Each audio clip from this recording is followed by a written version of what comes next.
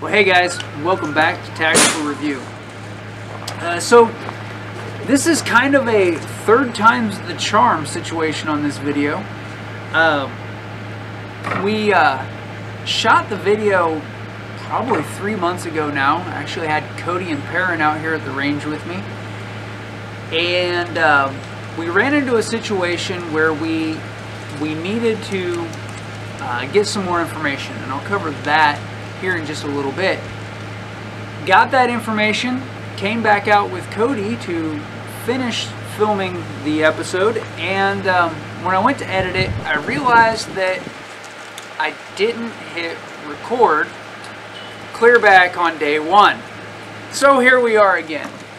Anyway, uh, as you've seen from the shooting montage, uh, we are comparing not these two firearms, but rather we are comparing the folding adapters that the firearms have on them. Um, they both accomplish, as you can see, a very similar uh, function. They are made for folding firearms that have the recoil assembly inside of the receiver. So as you can see, there's no buffer tube pass through so neither of these solutions would function for a standard AR-15 platform. Uh, but they work very well for your AK platforms that have an M4 adapter, uh, internally reciprocated uh, ARs such as this BRN 180 or such as the SIG MCX and PX, and the, the, the SIG Rattler, there we go. Um, they work well for something like the Scorpion Evo, uh, the Draco NAK9, if you got the buffer tube adapter, like I said, anything uh, that has a buffer tube adapter where you can use an M4 uh, stock or, or, pistol brace uh, for some adjustment on your length of pull. Anyway, so we had a lot of really good conversation and I'm sorry that we don't have all of that here today. Um, as you can see, the US machine gun offering here, which has its own video on the channel, is a very robust folding adapter. Locks in with this wedge shape on both the full open and full closed. to open it and close it, you do have to lift it against that spring assembly right there. Comparing that to the SB Tactical BTFA, which is the buffer tube folding adapter. Uh, to unlock this one, it's very similar. You lift up against the spring, scratch that, you push down against the spring, and then it locks open on this latch mechanism.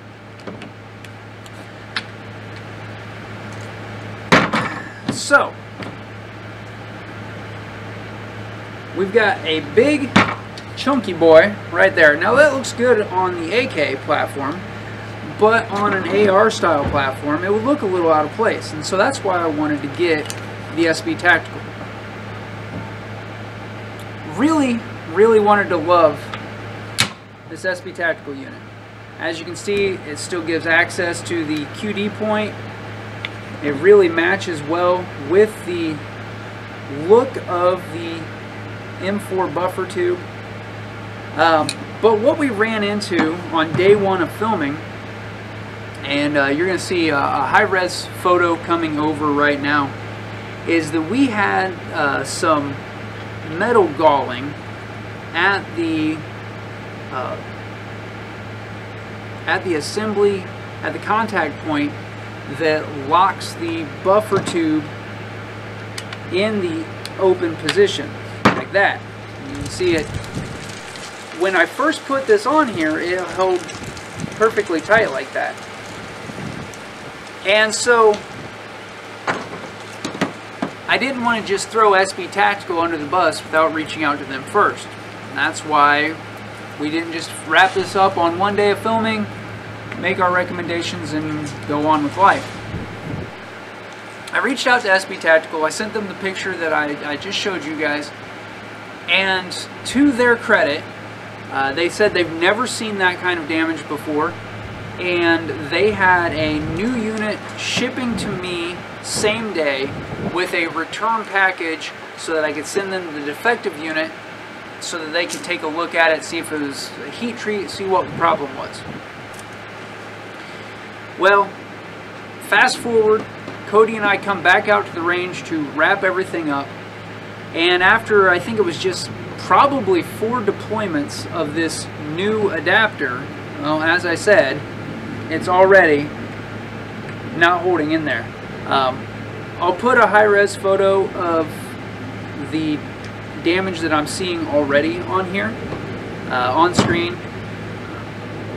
But unfortunately, it comes down to a pretty simple wrap-up. I like the lower profile look of the SB Tactical. Once the SB Tactical is in the deployed position, I mean, it's, it's not going to come apart on you. It's not going to close. Um, I've put several hundred rounds downrange with the firearm locked open. There's no problem. There's no problem at all uh, with the thing trying to unlock.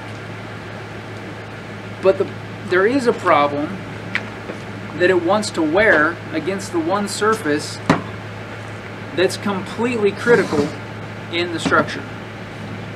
The U.S. machine gun, it's a big, chunky block of metal, uh, but it does what it's supposed to, and it's not showing any undue signs of wear. And it's probably 25 to 30% cheaper. So really, guys, that's what it comes down to. Of these two folding adapters, for my money, if I were to buy a, another one for a third firearm, I will be buying another U.S. machine gun offering. Uh, SB Tactical, I love your pistol braces. Uh, you've got a lot of great products out there, but unfortunately, I'm going to have to tell my viewers to give this particular item a pass. Uh, I will go ahead and leave it on the firearm until it becomes unserviceable. Uh, but at that point, I will either undo the folding mechanism on this particular firearm or I will find a different solution. Guys, thanks for joining me out here today. Uh, I hope that you found this informative. Uh, just, uh, so to, to actually fold a standard action AR-15, you will actually need a Law Tactical folder or one of the clones of it. Uh, they have a little bung in there that goes ahead and lets the buffer or lets the bolt carrier pass into the buffer tube when the folder is closed.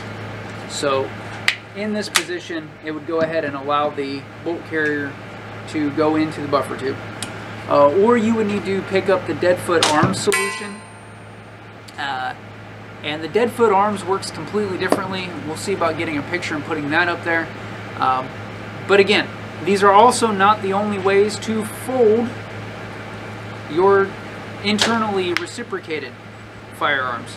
Um, there's any number of folding stocks and braces and whatnot for the AK platform. There's other offerings for a uh, like the BRN 180. Uh, so if you'd like to see me test one of those, go ahead and let us know down in the comments section.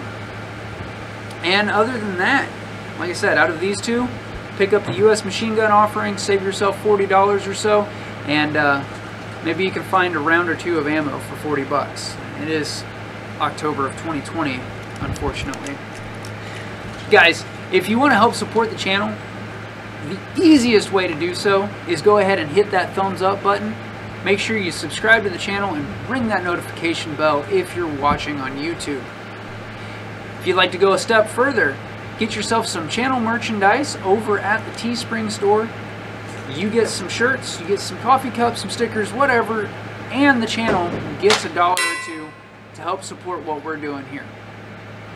And then finally, the gold standard of supporting any content creator, you can head over to the Patreon page or the Subscribe Star page and you can support the channel directly using the link that you see on your screen or down in the description. Guys, thanks for watching. Thanks for supporting the channel, and until next time, shoot straight, stay safe.